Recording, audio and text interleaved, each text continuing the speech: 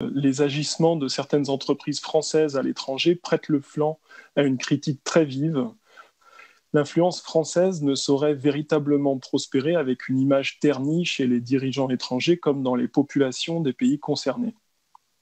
Il me semble que la France doit jouer la carte de la responsabilité sociale et environnementale pour ces grandes entreprises, comme elle doit jouer partout la carte du droit international et du respect des droits humains. Mais il y a urgence à améliorer l'image de la France à l'étranger.